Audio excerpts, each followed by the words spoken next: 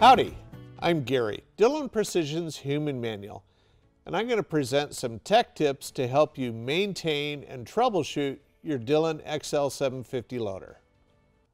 A bit of post-reloading maintenance that you should do every time you finish reloading is empty the powder out of the hopper. When you do that, you want to empty the powder out of the hopper back into its original container.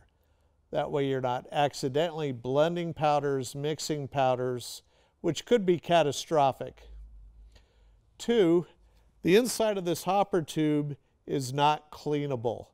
What you see is not dirt, it's not graphite, it's a chemical reaction of the residual solvents in the powder with the plastic causing this to darken.